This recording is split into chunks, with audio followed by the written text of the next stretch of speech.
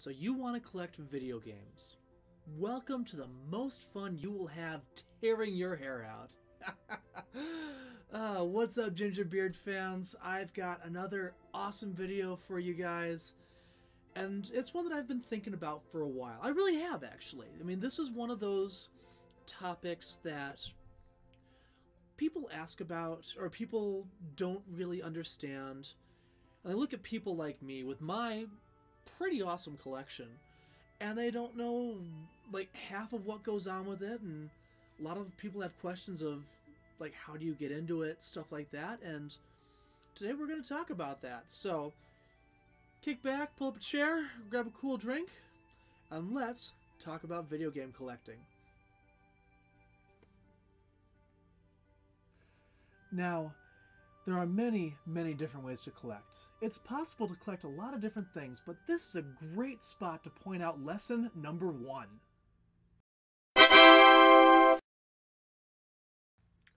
It's true. The only person you have to listen to is you. Forget about those other haters. I mean, it's not their collection, it's yours. Now, that said, it is a good idea to put some constraints on your collection, especially when you're starting out. Um, you don't want to go for every game on a platform, especially ones that have hundreds of titles like the Super Nintendo or the Sony PlayStation or PlayStation 2. There's a lot of games to collect there, and that can be a very daunting goal. The, the whole point of collecting is basically setting goals for what you want to get. So if you like RPG games, you start collecting RPG games. If you like racing titles, you start looking for racing titles and you start seeking out other racing titles that you don't have. That's kind of like the the progression of what you're going to look for. Um, like for me, I set a goal to buy every to acquire every single PS1 Dance Dance Revolution game, both US and Japan. And it took me a while, but I did it. I have all 15 titles. Check it out. Right? I mean, this is something that I was really proud to complete. I know it's pretty awesome. You know, just that that taking the time to find all the different parts, put them together, and just finally say, I have them in my collection. I mean, that's pretty awesome. And that that's that awesomeness, that that feeling that you get when you pull it off. That's the goal. And that awesomeness is whatever you decide. Now, that said, it's a good idea to start small. Because if you go too big, you get overwhelmed, you fail, you feel terrible about it. Start with small, easily attainable goals, especially when it comes to collecting. If you're going to be going for something ambitious, be ready for it. But this kind of brings us into point number two.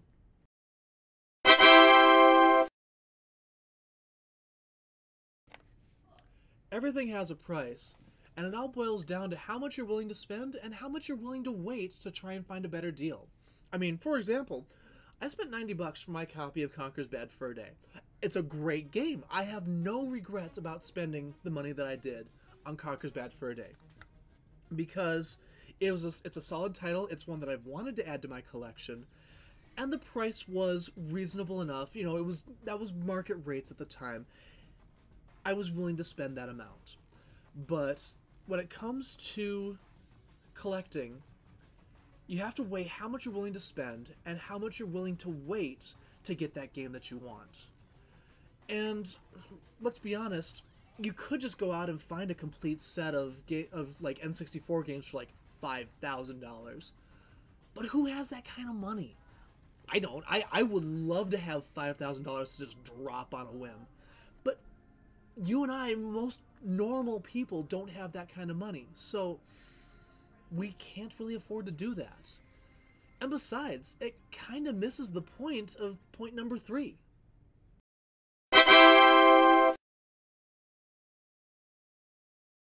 There is a rush when you finally find that game you've been looking for. That one that's been sitting there on the shelves, just shouting at you, I'm here, buy me. When you finally track down that game, there is a rush to be had in that.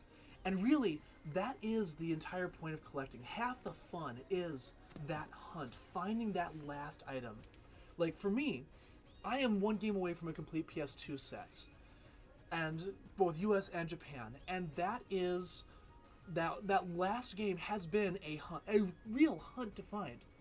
I don't have it yet, but I am so I am looking forward to that day when that when I finally hold that game in my hands. I go, I got this.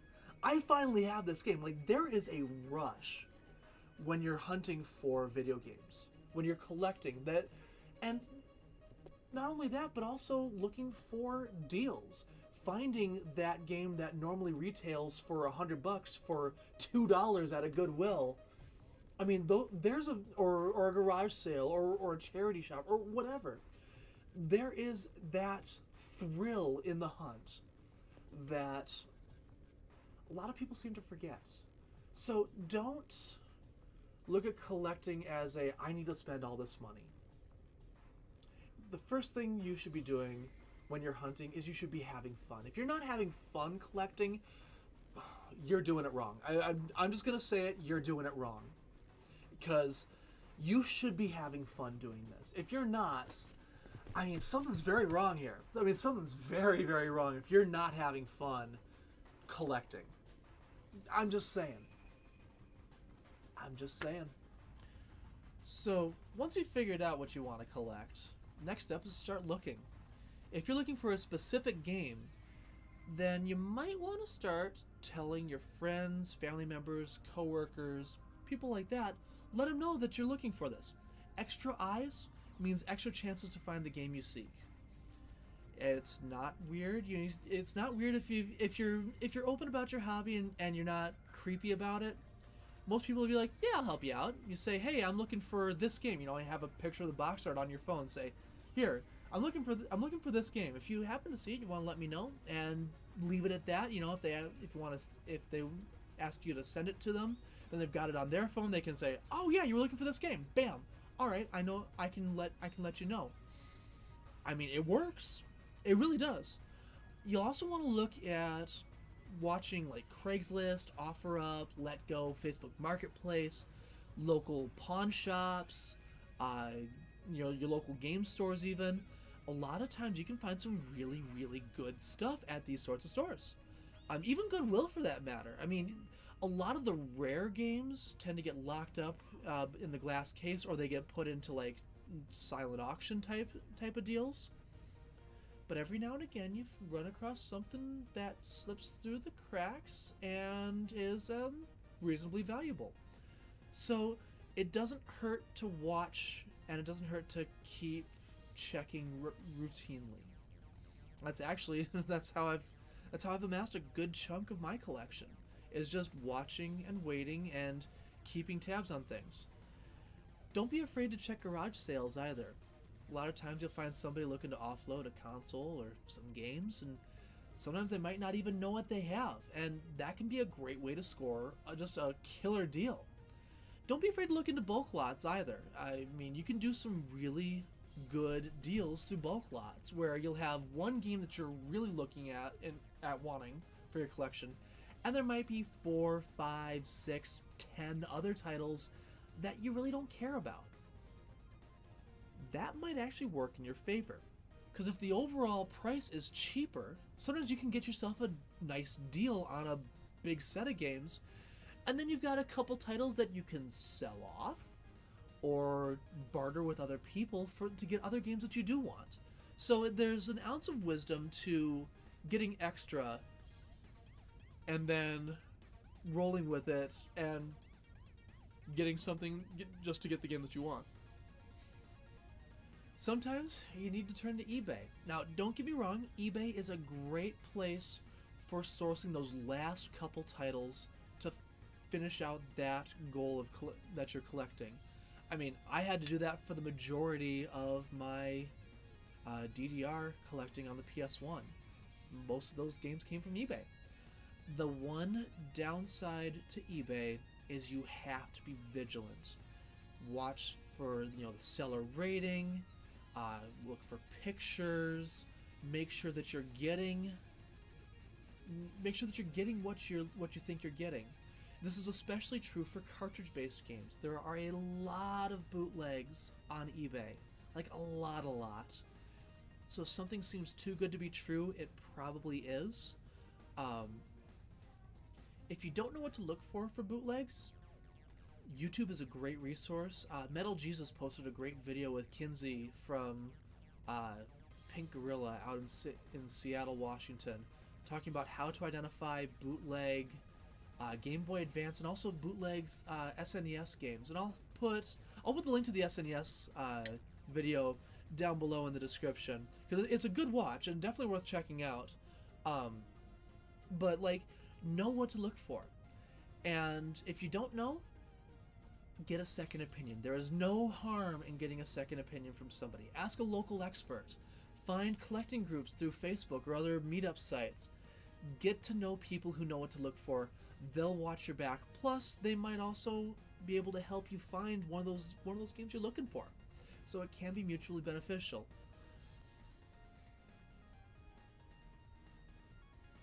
Now, if you want to collect something but you're not sure what, Video Games Monthly is a great way to kind of expand your horizons. Uh, you've probably seen some of my videos already uh, unboxing the games. Uh, if you've been watching my live streams, you've seen me rage at Super Mario Bros. 3, uh, get try to be stealthy in Syphon Filter Dark Mirror, and I've picked up some other great titles along the way, like this Monopoly Complete in Box. That was basically a collector's copy at this, you know, for lack of better words. I got this from Video Games Monthly, and it's it's a great way to expand a collection without breaking the bank.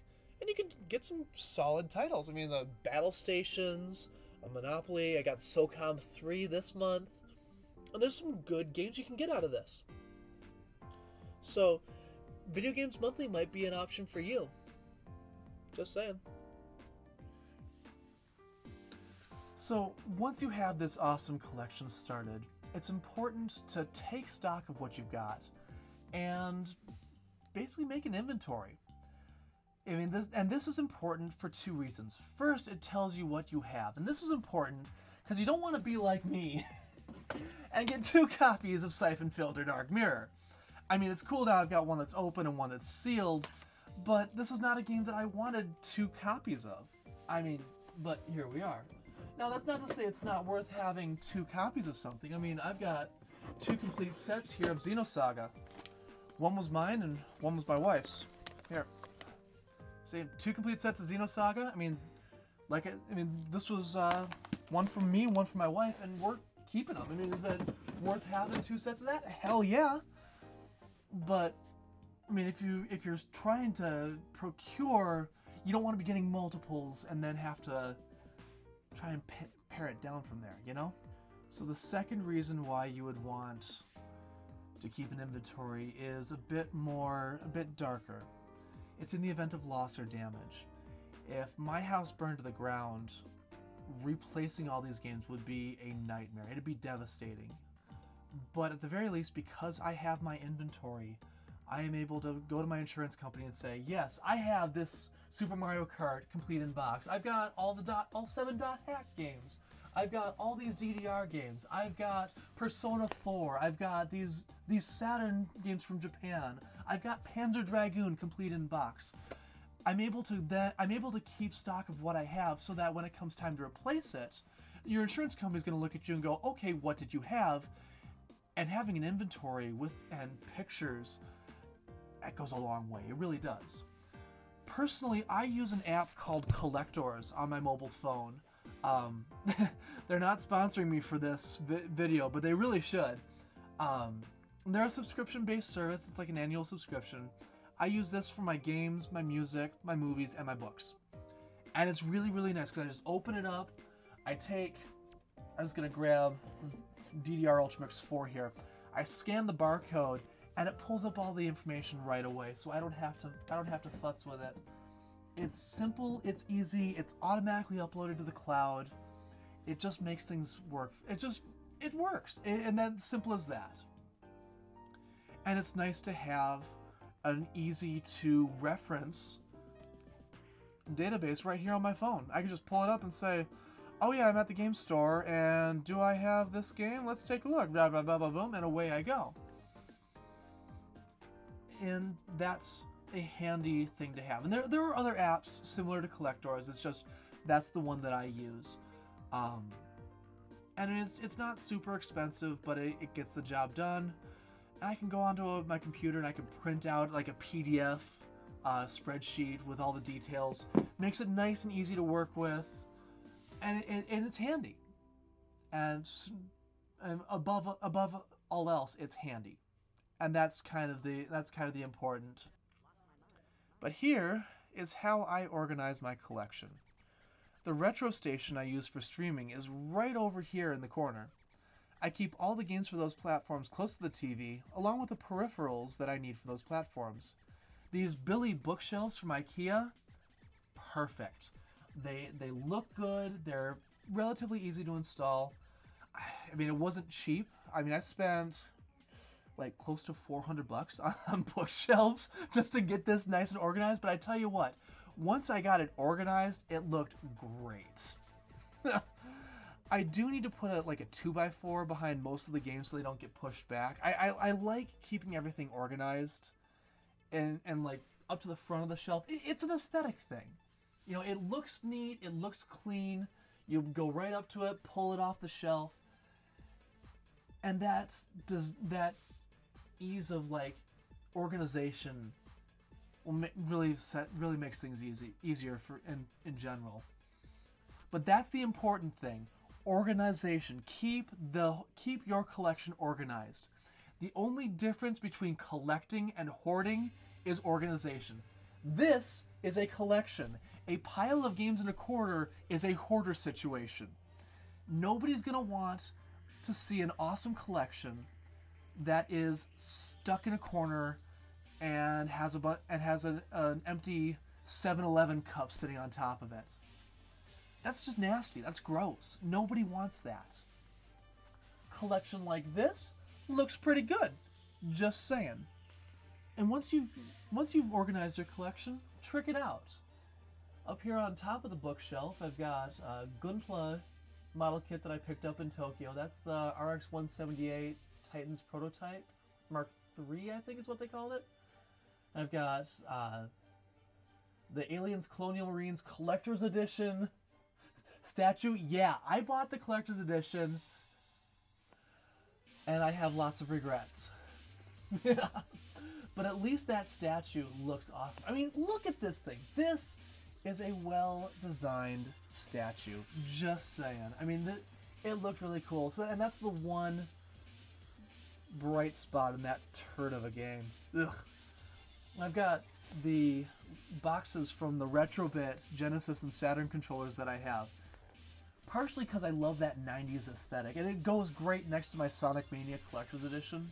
Like, it looks fantastic. And if you've got collector's editions, show them off. I mean, that's why you have them. And you put the put the box up on the shelf and say, "Yeah, I got this." It looks cool. It, it's a bit of that nerd cred. You know, face some of your games out so that you can see the the front box art. Do this for games that you really like. I mean, I do. I've got it for my mother too. Super Mario RPG, the Monopoly over here. Games that are cool and I want to show off. They sit out front and center, and it looks really awesome when you do that.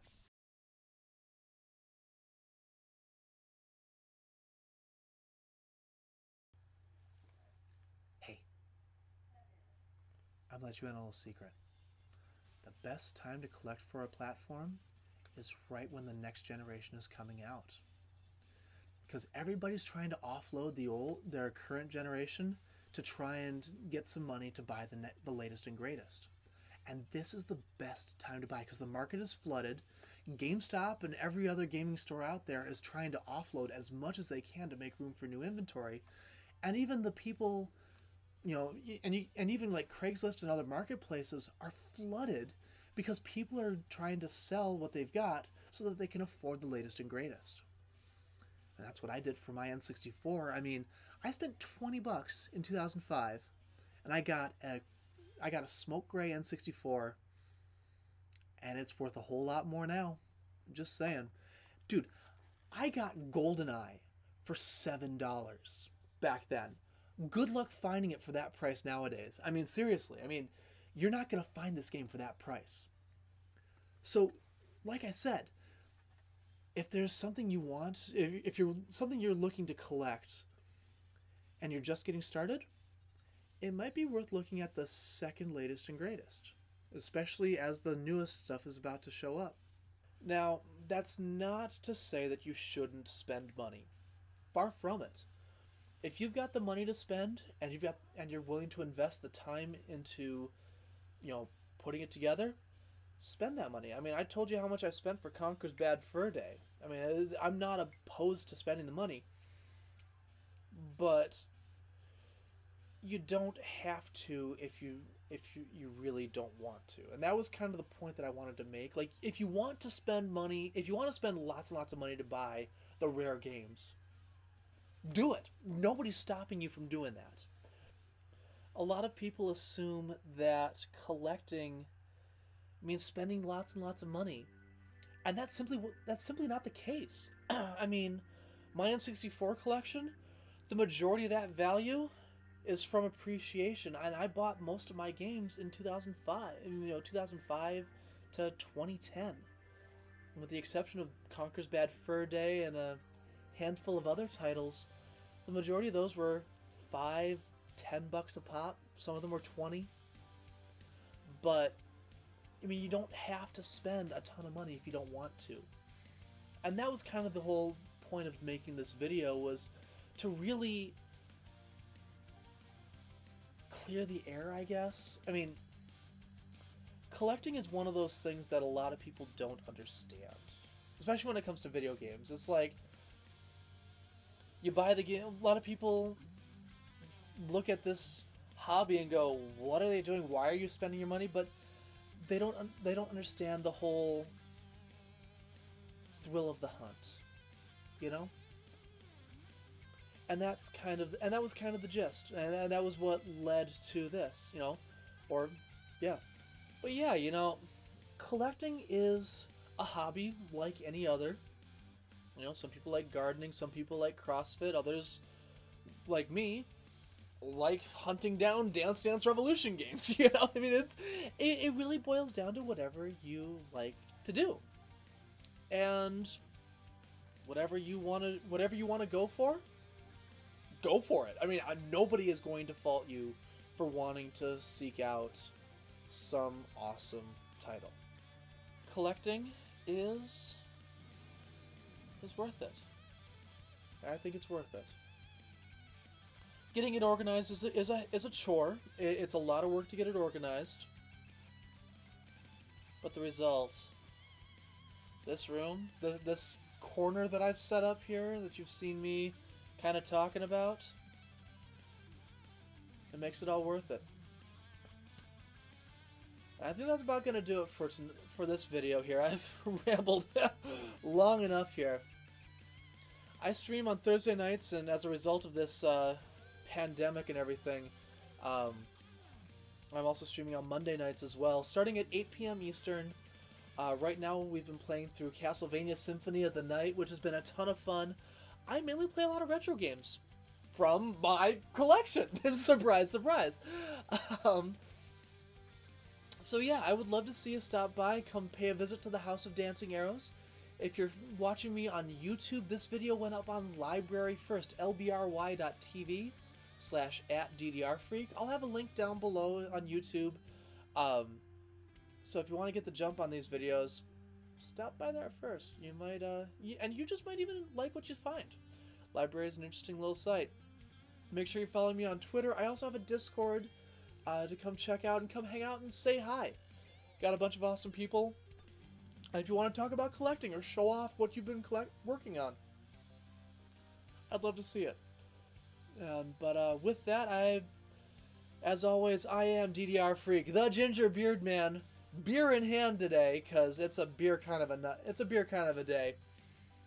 And I'll catch you guys later. You have yourselves a fantastic rest of your day. Peace.